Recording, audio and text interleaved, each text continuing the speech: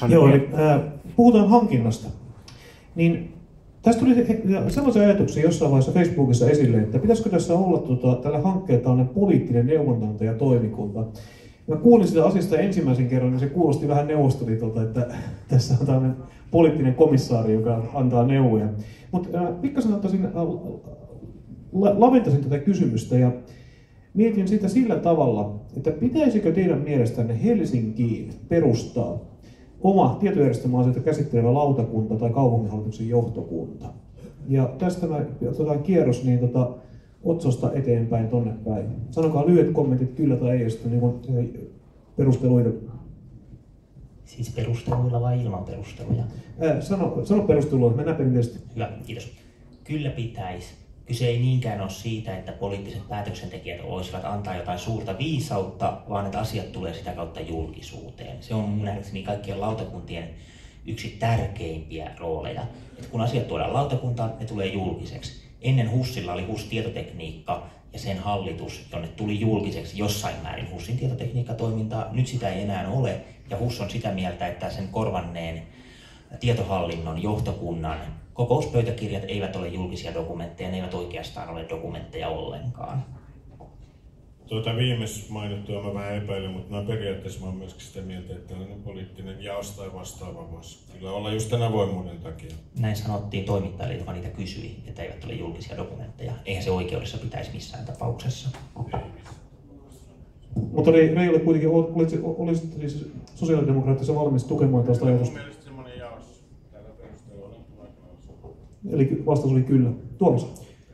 Niin, täytyy nyt muistaa, että tällä hetkellä Helsingin kaupungin tapauksessa, kun Helsingissä ollaan, niin lautakunnat käsittelee näitä asioita ja ne on julkisia. Eli, eli mä en niin kuin sillä tavalla näe, näe siihen ongelmaa. Ja ihan samalla tavalla mä käytän silti tätä rakennusvertausta vertausta niin kuin tekniseltä puoleltaan tässä hyväksi, että myös rakennushankkeissa ne päätökset tulee näiden niin kuin asiantuntijalautakuntien käsittelyyn. Ja mun mielestä se on sen toiminnan kehittämisen kannalta ja erilaisten niin kuin, näkökulmien puolesta niin kuin järkevää.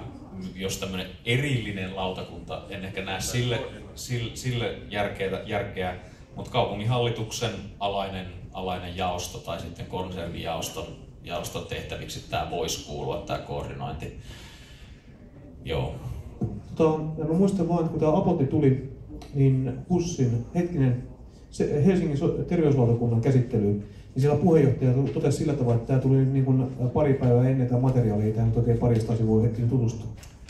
Niin, no, lautakunnissa voidaan jättää aina pöydälle asioita, jotta niitä voidaan niin kuin, tutustua paremmin. Lähtökohtaisesti asiat tulevat, jos sosiaalilautakunnan kokoukset on tiistaisin, niin meille tulee esityslista esittelyineen torstaina. Eli se, on niin kuin ihan lähtökohta, jos ne on näin laajoja asioita kuin tämä apotti, niin useimmissa tapauksissa ne jätetään kahdeksi viikoksi pöydälle, jolloin jää lisää aikaa käydä keskustelua muiden poliittisten ryhmien kanssa, tutustua siihen aineistoon sekä sitten keskustella esimerkiksi helsinkiläisten kanssa siitä, että millä tavalla nämä asiat nähdään. Jarmo. Kuulostaa tosi hyvältä ja mun mielestä juuri siksi ei pidä. Lautakunnathan on se aina se hyvä tapa osoittaa, että nyt tehdään jotain tai nyt on pistetty hiat heilumaan, kun pistettiin pystyyn joku komitea tai selvitysryhmä tai lautakunta.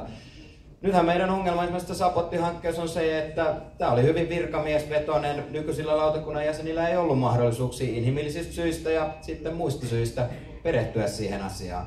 Ja mun mielestä nyt ihan ensimmäiseksi pitäisi pistää tarkastuslautakunnan hihat heilumaan tästä nykyisestä sotkusta, että mitä tässä on oikein tapahtunut. Ja painottaa sitä, että lautakunnan jäsenet parantaisi sitä työnsä laatua ja saataisiin pikkasen virkamiehiltä pois sitä päätäntävaltaa. Otetaan Ville ja sen jälkeen sitten oli Tuomaksella ja Reijolla oli kommentit. Niin siis jostain tulee tämmöisiä paperinippuja ja niihin pitäisi tutustua parissa päivässä. Ja niin kun, millaista tekstiä toi on, se on aika kammottavaa lukea ylipäätään. Niin siis jossain on joku porukka, joka tekee tällaisia. Ja sitten niihin pitäisi reagoida vasta kun ne on ö, valmiita. Niin kyllä tässä nyt jonkinlaista julkisuuden lisäämistä tarvittaisiin. Ja ajatellaan, että meillä on joku julkisivulautakuntakin. Rumat julkisivut ei ole ikinä tulleet niin kalliiksi kuin huonot tieto, tietotekniikkahankinnat. Kiitos. Mä oon tämän Apotti-hankkeen osalta ihan samaa mieltä, mutta yleisesti ottaen mun mielestä Helsingissä kyllä poliittiset päätöksentekijät saavat riittävästi tietoa niistä asioista, joita päätöksentekoon tulee. Tässähän tämä ongelma on se, että tässä on niin monta tahoa tekemässä yhteistä päätöstä. Ja silloin kun Helsinki tekee jonkun päätöksen, ja jotta pystyttäisiin menemään, menemään niin kuin kaikissa niissä päätöksentekoelimissä on sitten siellä Hyvinkää, Espoo, Vantaa, HUS, näin edelleen, niin ne päätösten pitää olla saman sisältöisiä, jotta saadaan se hankinta renkaassa ne puitteet, jonka mukaan sitä hankintaa viedään eteenpäin. Ja tämä on niin hyvä tiedostaa tämän Apotin osalta siinä teknisenä näkökulmana, joka on pakko ottaa lainsäädännön näkökulmasta huomioon, jotta pystytään ne päätökset tekemään. Mutta että kyllähän Apotin osalta se suurin haaste on ollut siinä, että tästä ei ole päättäjiä informoitu riittävän varhaisessa vaiheessa ja sitä kautta sitten ehkä sitoutettu tähän hankkeen kokonaisuuteen ja nyt sitten kerätään niitä hedelmiä. Ja Otso.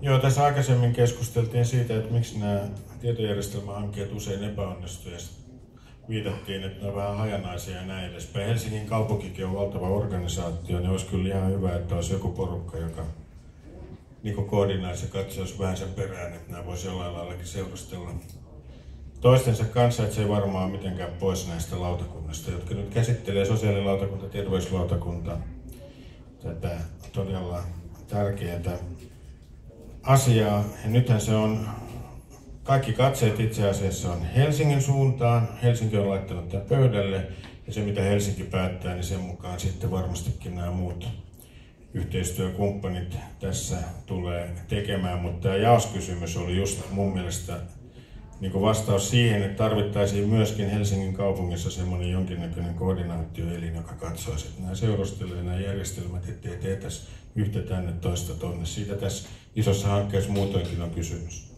se ei, sehän ei millään tavalla olisi pois siitä, että terveyslautakunnan ja sosiaalilautakunnan totta kai olisi pakko antaa ensisijaiset lausunnot tämän tyyppisistä asioista. Puhutaan kuitenkin sosiaali- ja terveysalan järjestelmästä, mutta siinä voisi olla just ylimääräinen, on se sitten jaos tai on se toimikunta tai mikä onkaan. Se ei kuulemma ole teknisesti ottaen lautakunta, koska lautakunta valvoo aina virastoa, mutta tämä on byrokratiaa. Niin, niin sellainen antamassa lausunnon esimerkiksi siitä, että tämä on muuten Helsingin hyväksytyn tietotekniikkastrategian vastainen toimintatapa, mitä tässä nyt ajetaan. Ja että onko tämä nyt harkittu, että halutaanko me poiketa meidän strategiasta ja mistä syistä.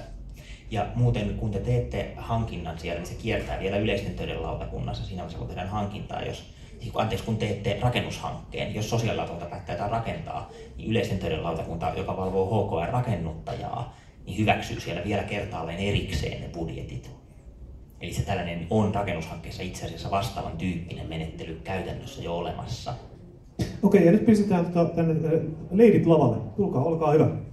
Jos mä saan nuoremman blokkaajan tähän mun, vaikka mun viereen, niin seisomaan, tuu seisomaan ja tota, sitten ole hyvä. Tota, kerro kameralle, kuka olet ja miten tämä homma lähti liikkeelle. Ville taas suun viitatakin. Joo, äh, mä olen Kirsi Louhelainen, mä oon vihreän ehdokkaana tuolla Espoossa ja tämä homma oikeastaan lähti liikkeelle. Mä itsekin seurannut tätä HUSin-hanketta jonkun aikaa jo. Ja mun, mä lähdin kirjoittamaan tästä blogausta, kun mä olin lukenut itse alun perin hiukan niin virheellisesti kirjoitetun artikkelin verkkolehdestä, jossa puhuttiin alun perin, että tai annettiin ymmärtää, että koko hanke olisi 1,8 miljardia pelkästään Uudellamaalla. No, sehän osoittautui, että se oli vaatimattomat 600 miljoonaa pahimmillaan, eli ihan pikkusumma. Mutta joka tapauksessa lähdin kirjoittaa tästä sen takia, että mä olen itse IT-alalla, mä olen noin 12 vuotta ollut tässä duunissa, mä olen tehnyt esimerkiksi operaattorilla aika paljon järjestelmiä. Ja tässä hankkeessa just tämä hankkeen koko luokka on se, mikä on huolestuttanut. Että totta kai tässä aika paljon kustannuksista tulee ihan muusta kuin ITstä, mutta juuri tuo summa kertoo siitä, että tässä on kyseessä projekti, joka on hyvin hankala hallita. Ja mä itse aika vahvasti esiin sitä, että mun mielestä olisi hyvä miettiä tässä projektissa sitä, että voisiko tässä lähteä tekemään esimerkiksi niin, että ei ehkä ihan koko pakkaa tehdä kerralla uusiksi, ei välttämättä oteta vielä sitä sähköistä asiointia, ei välttämättä oteta edes erikoisterveydenhuoltoa. Eli niin kun, nämä on niitä kysymyksiä, mitä mä itse olen tässä erityisesti pohtinut. Yes, nyt meillä on sitten tota, tullut vahvistusta, niin tota, tehdään niin, että kerro ensin, tota, että yleisölle ja kameralle, kuka sä oot, ja sitten sen jälkeen tässä tuli hyviä kysymyksiä, miten yleisesti niin keskustelu on kuulunut, niin tota, otetaan kommentit sulta. Joo, mä oon Henriikka Siljakko-Stikkanen, HUSin hallituksen jäsen, ja mä voisin kommentoida kahta asiaa, mitä täällä on ollut esillä. Ensinnäkin mä oon aina ihmetellyt, kun mä oon lukenut julkisuudessa tästä, mä ihmettelen tätä Helsingin tietokatkoa, koska mä olin keväällä tilaisuudessa, missä oli terveys- sosiaalilautakunnan eh, eh, esi, tota, no, ihmisiä näistä lautakunnista ja HUSin jäseniä, missä Antti Tiivenainen kertoo tästä projektista.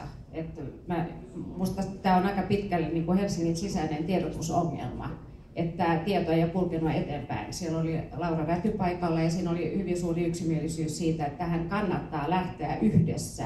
Kun moni lähtee yhdessä, niin siitä tulee suuri projekti.